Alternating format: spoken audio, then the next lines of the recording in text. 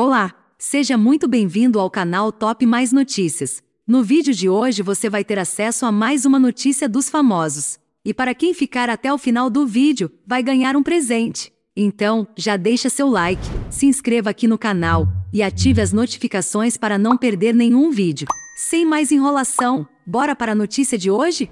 Fãs choram a morte de Jadson Neif, dançarino de brega funk do grupo dos Neifs. Morreu nesta quarta-feira, 29, aos 22 anos de idade, Jadson Neif, dançarino de brega funk do grupo, os Neifs. O artista sofreu um acidente de moto em Vitória de Santo Antão, Pernambuco, na noite passada e, infelizmente, não resistiu aos ferimentos. O empresário do grupo e de Jadson informou que a esposa do dançarino, Dayana Araújo, também estava no momento do acidente, mas teve apenas ferimentos leves nos pés e mãos. Além da mulher, o artista deixou uma filha ainda bebê. Jadson integrava o grupo Os Neifes, formado por jovens de comunidades no Recife que cantam e dançam brega funk. Nas redes sociais, o grupo possui mais de 800 mil seguidores. Horas antes do acidente, ele posou ao lado do influenciador Luva de Pedreiro e registrou o momento em seu Instagram Stories. Diversos fãs lamentaram e prestaram homenagens a Jadson nas redes sociais.